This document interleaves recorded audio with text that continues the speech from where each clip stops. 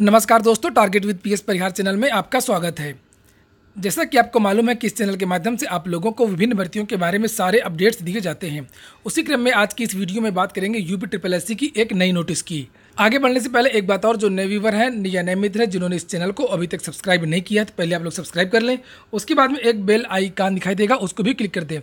ताकि जब भी किसी भर्ती का कोई अपडेट होगा तो उसका नोटिफिकेशन आपको मिल जाएगा। ये यूपी ट्रिपल एससी की वेबसाइट है, यहाँ पर आप जाएँगे तो यहाँ पर तीन नोटिस हैं जो पहली नोटिस है वो कनिष्ठ सहायक 2016 में जो परीक्षा हुई थी, उसके परिणाम को लेकर के है।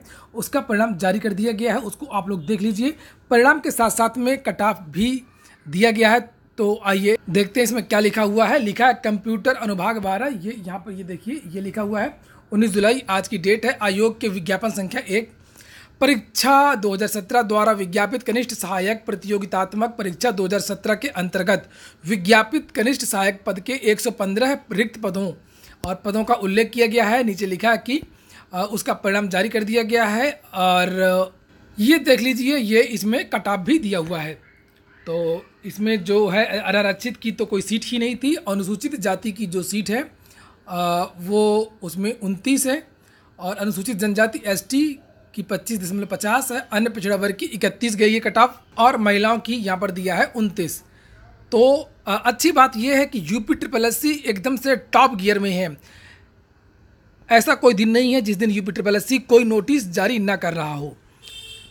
और जो यूपी ट्रिपल एस के चेयरमैन उन्होंने कहा था कि भर्तियों का जो वर्ष होता है, वो जुलाई से शुरू होता है।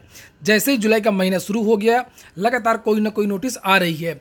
और अब ऐसी उम्मीद है कि बहुत जल्द वीडियो का परिणाम भी जारी होगा। यूपी ट्रिपल एस की कोशिश थी कि अभी कि जो पिछली परीक्षाएँ थीं, उनके परिणाम हों और वो परीक्षाएँ पहले करवाई जाएँ तो उसमें लगा हुआ था, इस वजह से वीडियो का रिज़ल्ट अभी तक नहीं आ पाया। और अब बहुत जल्द वीडियो का रिज़ल्ट भी आ जाएगा। इसके बाद में यूपी ट्रिपल एससी ने एक और नोटिस जारी किया है, वो लोअर टू की जो भर्ती रद्द हो गई थी, उसकी दोबारा परीक्षा हो रही है 28 तारीख को। उसके बारे में ये नोटिस है, ये भी आज ही की नोटिस है, देखिए इसमें डेट भी लिखा हुआ है, उन्नीस जुलाई। और इसमें लिखा है, उत्तर प्रदेश अधीनस्थ सेवा चयन आयोग के विज्ञापन संख्या 22 परीक्षा 2016 द्वारा सम्मिलित अवर अधीनस्थ सेवा प्रतियोगितात्मक परीक्षा 2016 के अंतर्गत विज्ञापित विभिन्न विभागों में छः पदों पर चयन हेतु लिखित परीक्षा आयोजित की जाने के संबंध में सूचना।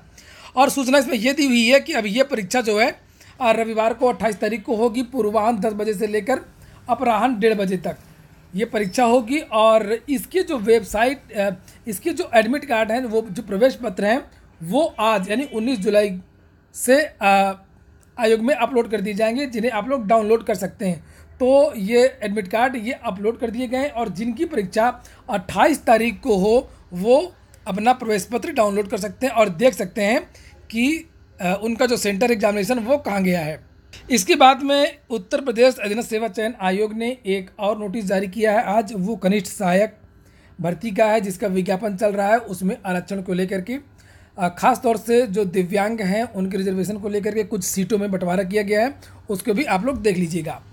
तो ठीक है दोस्तों, ये बहुत ही अच्छी न्यूज़ है कि यूपी ट्रिपल एस अब गति पकड़ रहा है और अब बहुत जल्दी जल्दी परीक्षाएँ हो रही हैं, विज्ञापन आ रहे हैं और परिणाम भी जारी होना शुरू हो गया है।